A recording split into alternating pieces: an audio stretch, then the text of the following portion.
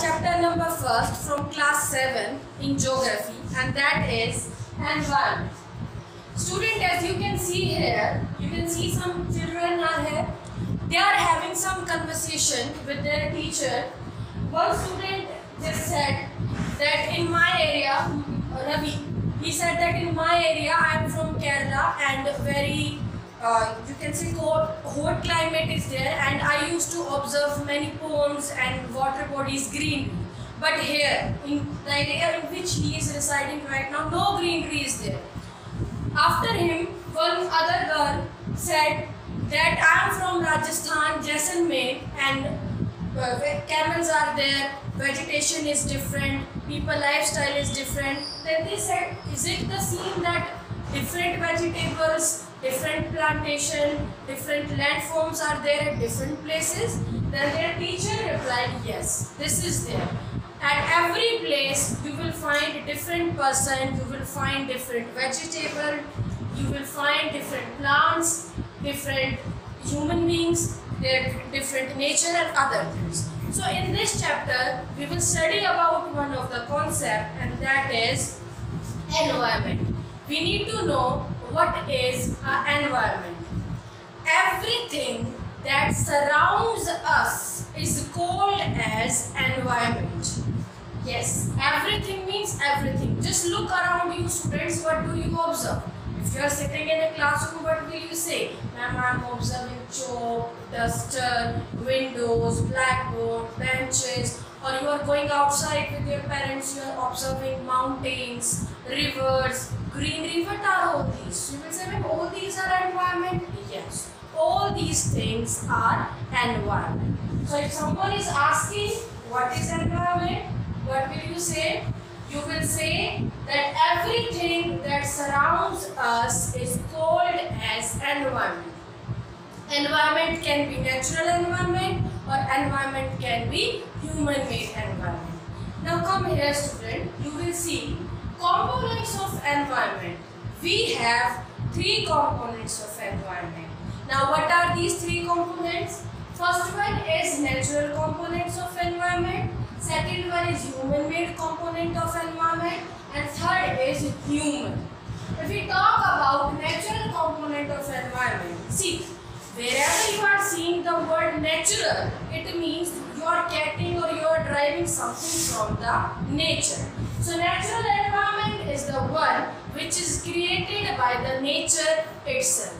For example, a different landform, all the living things, the air we breathe, the water we drink, all these things compose natural environment. Then is human-made environment. Human-made means the environment which is created by humans themselves so that they can live with ease and comfort. Again, I already told you, you see so many things around you which are discovered by human-made. Blackboard, chalk, duster present in your classroom, buildings. What are these? Human-made environment. You can see here, buildings are there, bridges are there, roads are there. These all compromises human-made environment. Now the next component is human. Now see student, mostly you are having this, you can say, uh, mingling in your mind regarding human-made environment and human. You think that both of these components are same. Human is another component or separate component whereas human made is separate component. What are human made environment? What does it compromise that I already told you? If I told you or if we discuss about humans, what does that means? That means we are talking about the skills. We are talking about the art, the talent of the human beings. You know what, what we always used to say that human are the best source for the overall development of the nation. If we are talking about the nation India, India can be developed country. Right now India is a developing country. Now India can be developed country only when this component of environment, which component? Human component is of utmost best level present in India. Now humans can be particular individual, single individual. You can say about me any particular student or environment can be you can say about your family members community. What do you mean by community? Community means society. Different religion educational institutes all these components or parts frames human. So what we have discussed till now first point what is environment that is everything that surround us is called as environment and then components of environment. And what are these components? These are natural components human made component and human. Now let's discuss ahead we have further two type of environment and these are or you can say further elements of environment. These are biotic elements and abiotic elements. Now what are biotic elements? See here the word of living organism is called as biotic environment. Means all the living things together frame biotic environment. For example, plants, animals, human beings. And on the other hand, what is abiotic environment? The word of non-living environment elements is called as abiotic environment. For example, land, buildings, bridges, we have already discussed these points here. So I hope it is clear till here. Now let us move ahead students. Then is natural environment. I already told you this thing. Natural environment, the environment which is created by the nature itself. There is no role of human being in that. That is gifted to us, gifted to the human being by the nature only. You can see here all your rivers, your mountains, lands, what are these? These compromises your natural environment. Now see here, land, water, air, plants and animals comprises your natural environment. Now if we talk about natural environment, then we will say, students remember in your last class also, in 6th class, you have studied about the major domains of the you have studied about four major domains of the earth. Here also we are talking about those four major domains of the earth. The first major domain of the earth is lithosphere. Now what question arises here? Again I am repeated. How many domains of the earth are there? There are total four domains of the earth. These are, first one is lithosphere. Now the question is, what is lithosphere? Lithosphere is the solid crust or the hard top layer of the earth. The layer which is visible to us is called as lithosphere. Obviously how we are using it by planting trees for growing plants, for forest, that is lithosphere.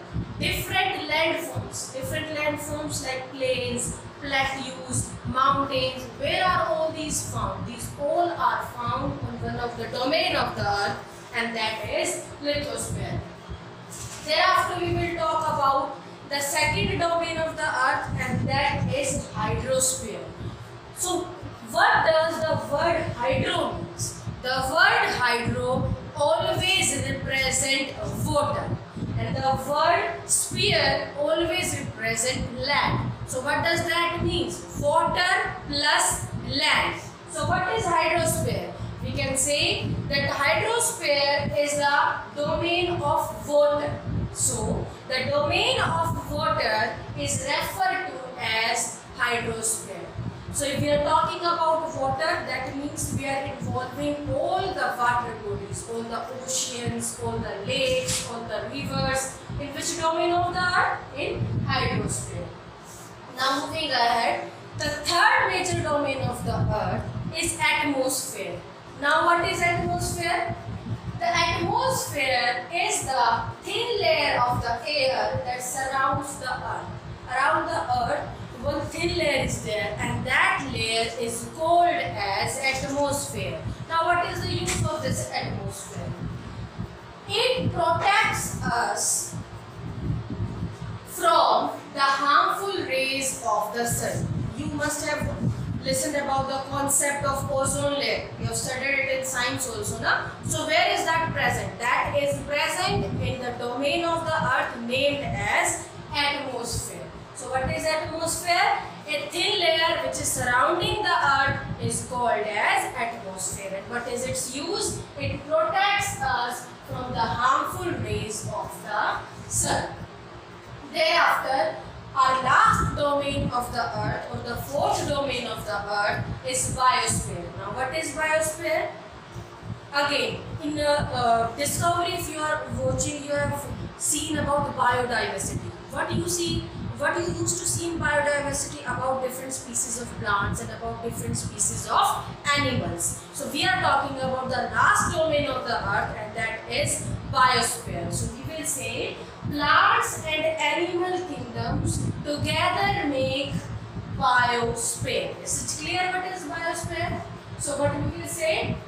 It is what biosphere? Biosphere is a narrow zone of the earth where land, water and air interact with each other to support life. Life is not possible without all these three things. And what are these? Land, water and air. When all these three things interact together, they support the life system and they frame biosphere. This is it clear student?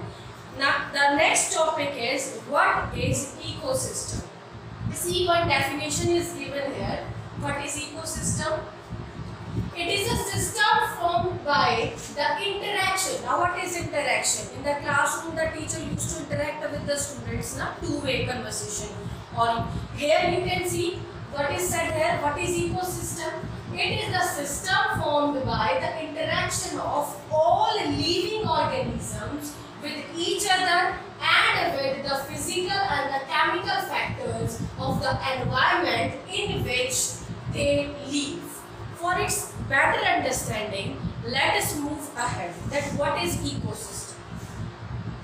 Students, you can see here when all the plants, animals and human beings depends on their immediate surroundings. Surroundings means immediate neighborhood what I said, all the plants, all the animals and human beings depends on their immediate surroundings. Now you will ask the question how. Now see, let us take the example of cactus. What is cactus? You can say one type of plant only. Where it is, where you used to found it? You will say ma'am in Rajasthan. Why you are not founding it in uh, normal plains and only in Rajasthan?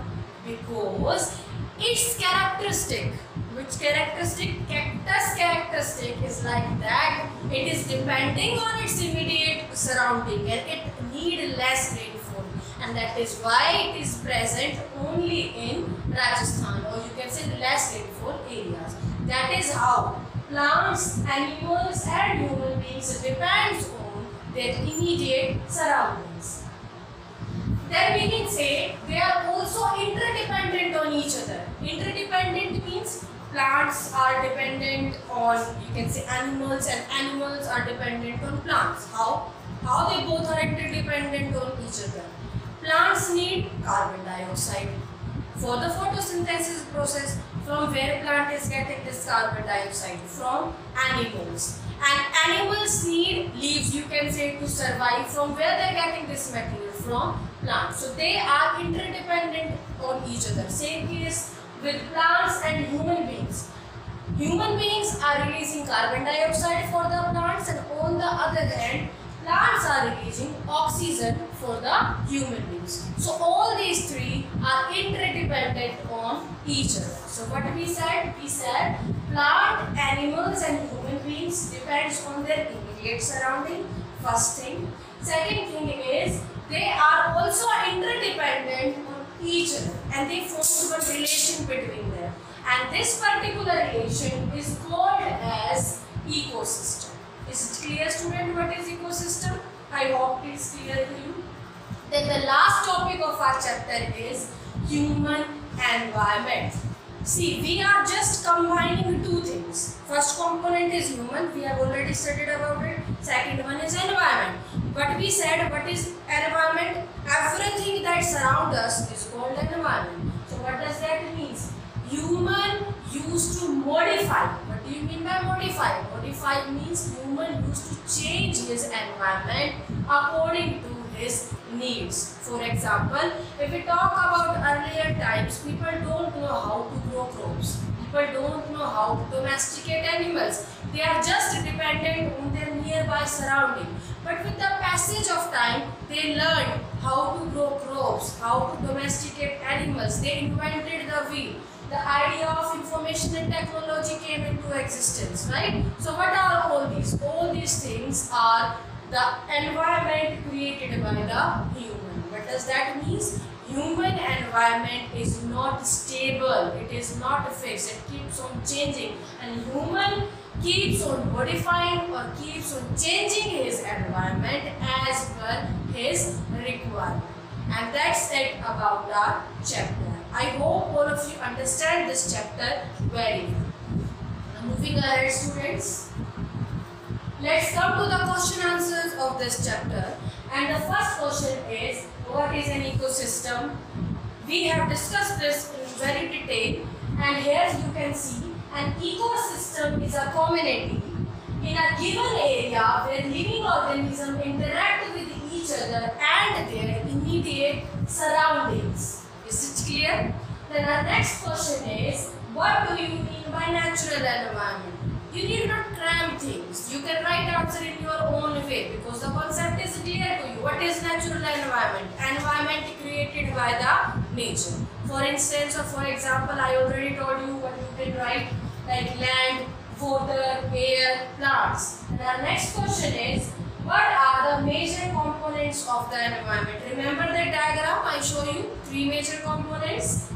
Natural environment, human environment and human-made environment.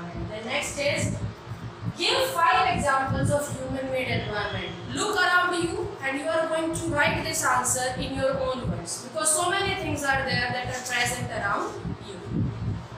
Moving ahead students. Next question is what is lithosphere? This also we have discussed. Lithosphere is a solid crust or the hard top layer of the earth which is made up of rocks, minerals and is covered by a thin layer of soil. This is the only area where forests are found. Right? We discussed this. The next topic is which are the two major components of biotic environment. These are biotic environment comprises living elements. We discussed now biotic and abiotic. So in living elements we have two major components and these are plants and animals. The next is what is biosphere? Again I'm not discussing it. You can write it in your own words also because we have discussed this concept in detail. The next is take the correct answer. First one is which is not a natural ecosystem. First one is desert. Second one is aquarium and third one is forest. So you have to find out which one element is there which is not created by human, which is not created by the nature but it is created by human So that one is aquarium. The next is which is not a component of human environment. What does that mean? That is not created by human that is created by nature. So the right answer is land. The next is which is a human-made environment among the following? Mountains created by the nature, sea created by the nature, but roads are not created by the nature. They are created by the human being. So right answer is road. Then last is which is a threat to the environment. Growing plant, it is not a threat to the uh, human beings. The next is growing population. Yes. Growing population is the right answer and it is biggest threat to our environment. Okay, can you tell me how growing population is biggest threat to the environment? What does that mean? That means much population means the need of the people is more. We need more resources. On the other hand, what we can say? We are having scarcity of resources. So we cannot have a balance between the need of human being and between the availability of resources. So moving ahead. Then next is this particular box is given to and you have to fill these two blanks in the last two blanks where hydrosphere you have to represent what is hydrosphere. We have already discussed this thing. It represents domain of water.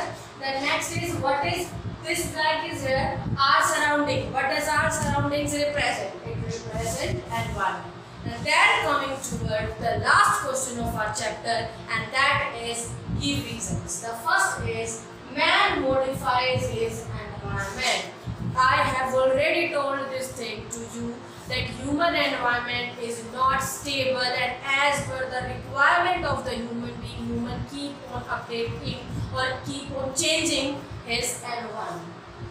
The next is plants and animals depends on each other. Remember student, I explained this point to you with an example.